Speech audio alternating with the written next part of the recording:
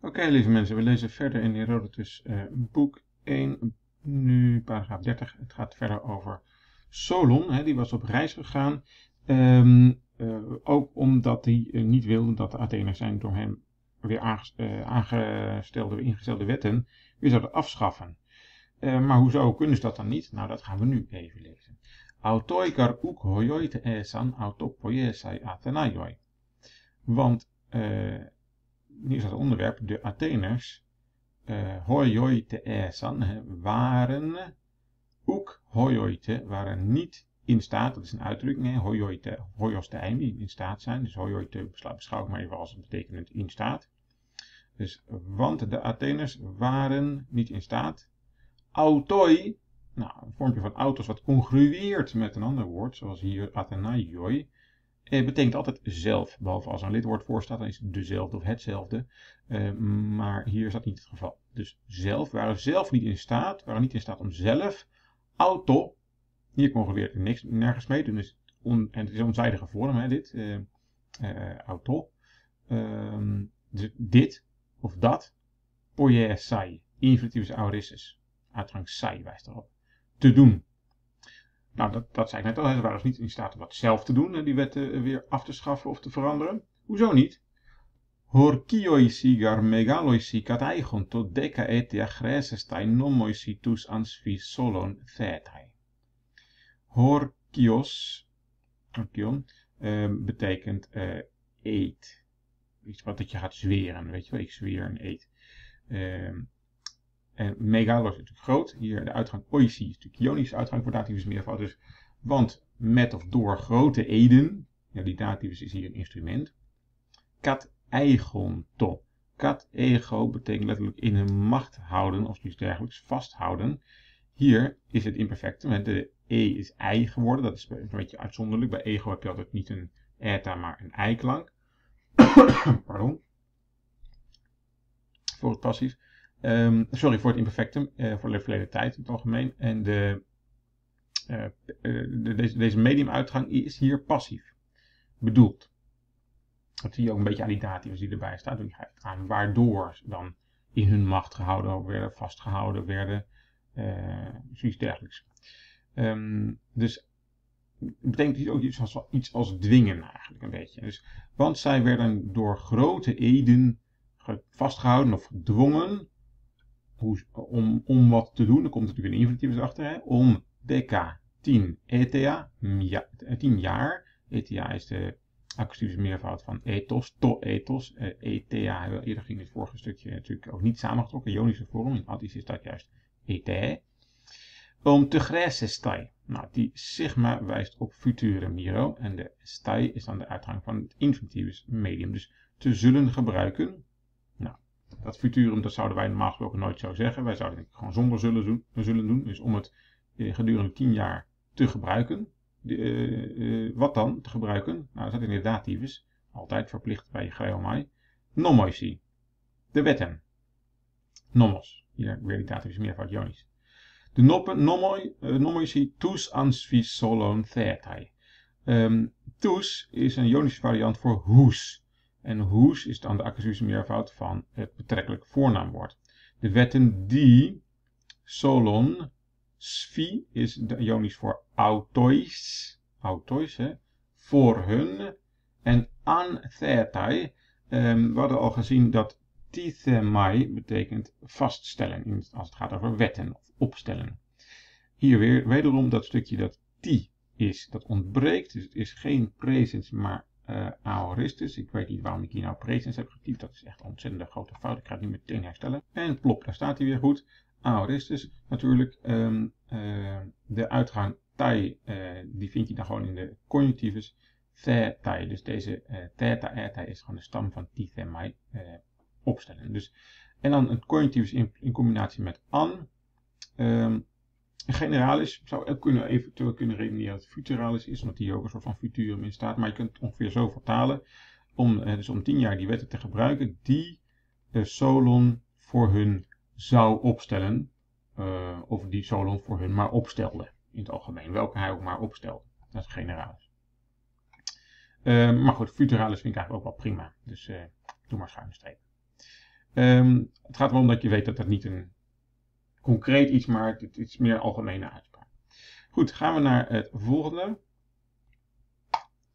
Uh, dus als, als, ja, trouwens, dus als hij er niet zou zijn, kunnen ze ook niet hem gebruiken om het allemaal weer uh, recht te breien. Maar dan, uh, die eet behindert hem om zelf iets te doen. En als hij er niet is, kunnen ze ook niets doen. Daarom ging hij dus ook op reis.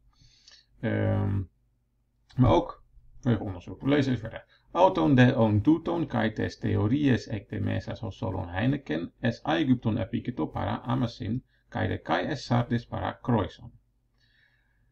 Um, dit is een rare volgorde, want uh, het uh, woord, belangrijkste woordje Heineken, nou dat is niet het biermerk, nou, dat worden zoveel keer maak ik die grap, maar toch is het leuk. Uh, ik vind het heel grappig dat ik vind het grappig dat het biermerk, nou ja, whatever, dat dat in het Jonisch gewoon een woord is. En dat is dus het Heineken, met ding vanwege, hebben we al vaker gezien. Um, maar het staat altijd achter het woord waar het bij hoort. Het is een genitivus, natuurlijk altijd waar het bij hoort, maar dat die genitieven staan auton, toetoon en des theorieën. Dus het wordt eigenlijk hiervoor. Het is een beetje raar dat het erachter staat. Dus uh, vanwege autoon, toetoon. Vanwege toetoon is hier onzijdig uh, bedoeld. Dus vanwege die dingen. Autoon, dat congrueert ermee, dus betekent er zelf, weet je nog van daarnet? Vanwege die dingen zelf, of vanwege juist die dingen, dat is wat het autoon ook een beetje kan betekenen in plaats van zelf. Kai tes theorieën, Heineken, en vanwege test theories, dat is het onderzoek, dat is een jonisch voor theoria's natuurlijk. Hè. En hier oon, dat is een jonische variant voor oen, weet je wel, dat dus betekent. Um, hier staat den, dus dan dus, zo bij elkaar. Dus dan dus vanwege deze dingen, precies, juist deze dingen, en vanwege het onderzoek, dat is de tweede reden waarom die op reis wilde. Ek de Messa's op reis gegaan zijnde, naar het buitenland gegaan zijnde. Hè. De meo is naar het buitenland gaan. Hier Participium aoristis. Uh, omdat hij naar het buitenland gegaan was. Wat deed hij, die Solon? Nou, die apiketo, Jonisch voor afiketo, van afikneoma aankomen. Dus hij kwam aan es Egypton, naar of in Egypte, para Amasin, bij Amasis, die koning van uh, Egypte. Die we ook tegenkomen in, het verhaal over Polycrates, maar hier speelt hij echt een, alleen maar even een heel kort bijrolletje. Kai de Kai, en ook nog eens een keer, dus kai kai is en ook en dan de nog eens een keer of iets dergelijks. En ook nog eens een keer dus ook bij hè, uh, bij Croisos S Sardis in Sardis. Of naar Sardis.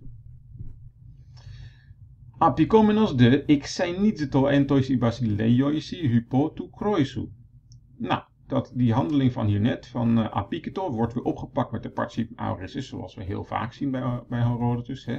Hier zeg je iets, dan pak je het op met het participium en daarna dus. En nadat hij dus was aangekomen, het participium. Zitto. Van zo ontvangen. Denk aan het woordje xenos, betekent een vreemdeling, maar ook een gastvriend, een gast. Dus iemand zo betekent ontvangen. Ik zijn niet zo to. Nou, die eiklank, dat is een beetje jonisch, maar het is ik zijn niet zo to dat is. Maar het is hier passief bedoeld. Dus uh, werd hij ontvangen, hoe weet je dat passief bedoeld wordt? Komt doordat er dat hypo erbij staat. Door koizos en toisi basileioisi. In, nou, ta basileia betekent het paleis. Je hebt ook eh, basilea, het accentje op de jota. Uh, dan is het uh, koningin, he basilea.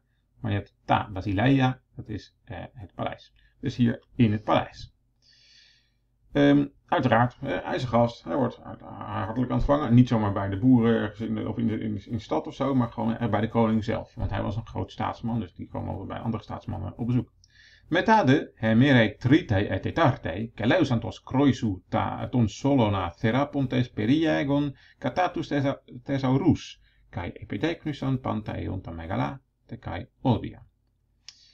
Uh, metade, de en, meta, eigenlijk na of met. Hier is het bedoeld als een verkorting voor metatauta. Dus na die dingen. Hè. Dus en daarna. Hemerei trite tetarte is een dativus. Dus uh, betekent de derde of de vierde dag. Hè. Er betekent of. Dus op de derde of vierde dag. Dat geeft die dativus aan het moment. Hè.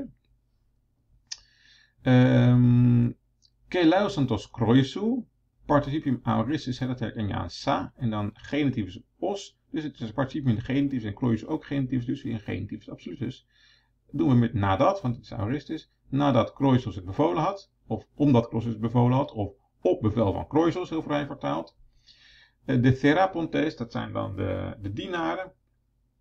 Eh, die, die, zien we ook in het verhaal over Polycrates, daar gaan ze die vis snijden. Um, de dienaren Peri. Egon van, komt van ago, hè, die alfa is een eta geworden als een soort van argument. Um, tijd kenmerk. Zij zei leiden Solon, dus de dienaren leiden Solon rond. Peri is rond. Hè? Dit is het onderwerp, dat is het accusativus, leidend voorwerp.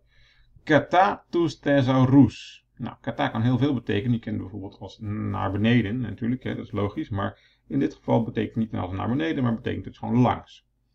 Uh, of door eventueel. Dus leiden hem rond langs de schatkamers. Door de schatkamers.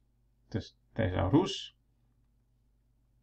Uh, kai epe dijknusan. Nou, dit is een beetje een lastig uh, iets. Epidijknumie, als we even een dijknumie nemen, dat is zo'n irritant mierwoord, mierwerkwoord, uh, waar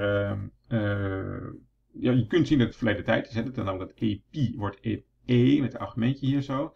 Maar san doet je denken toch echt, echt, echt aan de aurisis. Maar dat is toch echt, echt niet het geval. Want de aurisis van dijknumie is e dijksa, zonder nu. Nu is echt een presenskenmerk bij dit werkwoord. Net zoals bij, bij T-themi was het het vorige stukje, weet je wel, is T het presenskenmerk. En bij didomi is het die. Nou, nu hoort bij presens voor dijknumie. Nou, dat staat er nog steeds. Dus is het een presens of een imperfectum in dit geval. Hè, dat is dezelfde stamgroep.